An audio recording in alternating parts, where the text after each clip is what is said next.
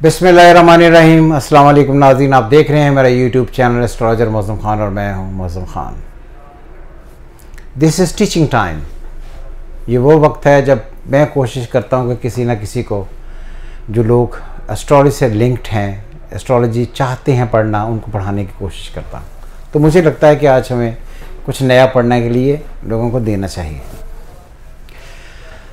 और आज हम एक ऐसा चार्ट पढ़ रहे हैं जिसमें दो चीज़ें बड़ी इंपॉर्टेंट हैं। सबसे पहले ये कि आप अनवांटेड चाइल्ड थे, यानी कि जब आप पैदा हुए तो क्या आपके वालदेन चाहते थे कि आप पैदा हों? और उन दोनों के दरमियान उस वक्त रिलेशनशिप कैसा था? क्या लीगल था इलिजिटिमेट था इलीगल था?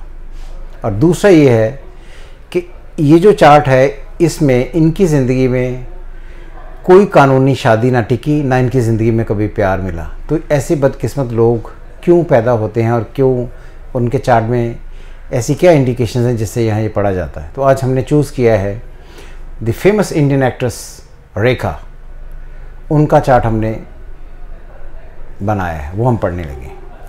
Look at this one Bhanu Rekha. इनकी डेट ऑफ़ बर्थ है टेंथ ऑफ़ अक्टूबर 1954 ये मद्रास चेन्नई, इंडिया में पैदा हुई। ये अब इनका हॉरोस्कोप देखें। सबसे पहले ये बात गौर से सुने और अपने जहन में रखें कि जब भी मून और जुपिटर आपस में ट्राइन में हों, या सन मून जुपिटर आपस में ट्राइन में हो तो आप चाहे औलाद हैं। और जब सन मून का फासला बहुत डिफरेंट किस्म का नेगेटिव हो तो अब चाहे औलाद नहीं है।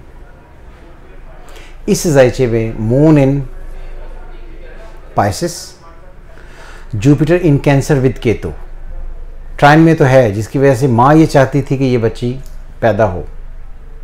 मगर सन जो है विच इज़ फादर वो अफ्लिक्टेड है इन एट्थ हाउस और जब हम टेंथ हाउस को एज ए फादर पढ़ते हैं तो उसका लॉर्ड अपने घर से जाकर छठे घर में है। सेक्रेटरी से छठे घर में सेक्रेटरी से आठवें घर में। तो ये जो सन का मून और सन का आपस में फासला, पहले छठे का बना देना, पहले आठवें का बना देना, ये बताता है कि इन दोनों के दरमियान इतना डिस्टेंस था कि that was not the legitimate and legal relationship और इसी वजह से ये एक ऐसे रिश्ते में पैदा हुई हैं जिनके दरमियान उस वक्त लीगल रिलेशनशिप नहीं था क्योंकि सन अफ्लिक्टेड था। ना लड़की, लड़के के साथ कानूनी तौर पर बंधी हुई थी, ना लड़का, लड़की के साथ लीगल रिलेशनशिप में बंधा हुआ था। तो इसलिए ये इलिजिटिमेट चाइल्ड है अनवांटेड चाइल्ड जो पैदा हुई। लेकिन इन दोनों के पेरेंट्स के दरमियान आपस में उस वक्त लीगल रिलेशनशिप नहीं था। पहली बात हो गई ये। सेकंड इनकी अगर अपनी ज़िंदगी देखें तो सन अफ्लिक्टेड है मार्स अफ्लिक्टेड है सेटन अफ्लिक्टेड है।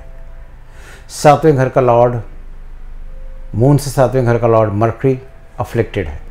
मर्करी इन स्कॉर्पियो स्कॉर्पियो का lord Mars Mars is in Capricorn with Saturn with Rahu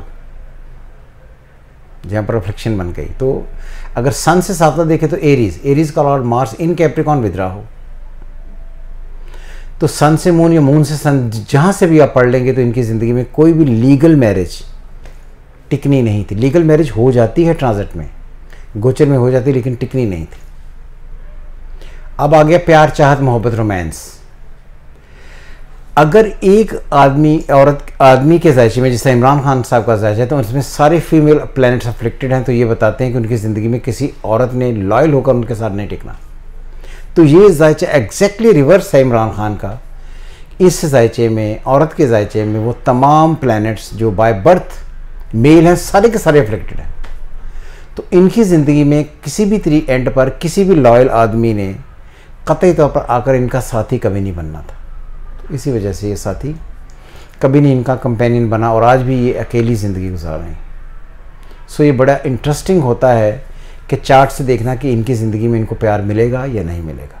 तो ये मुझे लोगों ने सवाल भेजे हुए थे तो मैंने कहा कि आज एक प्रैक्टिकल एस्ट्रोलॉजी में ये भी बात ऐड कर ली जाए कि एक रोमांस किस तरह पढ़ा जाता है और आप लिजिटिमेट चाइल्ड हैं, या लिजिटिमेट चाइल्ड हैं। इससे मुराद ये है कि आप अपने वालदेन की क्या वो औलाद हैं जब वो शादीशुदा थे या गैर शादीशुदा थे। इसीलिए इसमें पहले से एक हर उसको बनाने लगा था ट्विंकल खन्ना का, जो राजेश खन्ना की बेटी हैं।